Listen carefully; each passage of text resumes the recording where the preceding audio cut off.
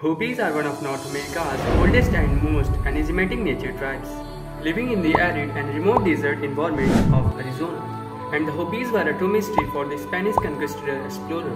But over time, the world only got to know their vibrant cultures and their rich and unique creation mythology.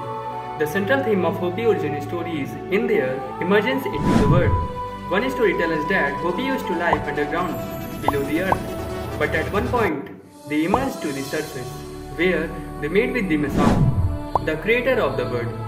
He allowed them to stay above, in exchange for them becoming caretakers of the earth. Another emergence story tells us that the previous world in which Hopis dwelt became destroyed in a great flood.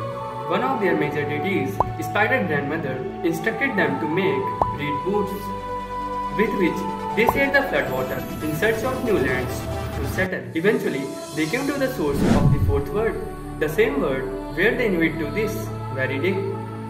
And if you learned something new after watching this video, make sure to subscribe and share with your friends